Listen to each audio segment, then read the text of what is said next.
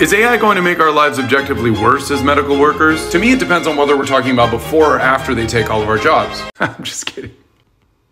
I sincerely think that AI is going to make our lives better. None of us went through up to 15 years of training to be glorified data entry specialists. I think we're gonna see a time in the very near future when we stop clicking 3,000 boxes hunched over our computer and spend more time with our patients. And imagine being able to set AI on an individualistic research project, combing through tens of thousands of different patients worldwide that had similar but super rare presentations and make crazy, unique, individualistic treatment recommendations based off of that, it'll be so powerful. Yes, our jobs are gonna change. Yes, technology is always a double edged sword, but I genuinely think that the good is gonna outweigh the bad here. And thank you to GoodRx for always supporting medical workers and for leveraging technology to save patients up to 80% on prescription prices.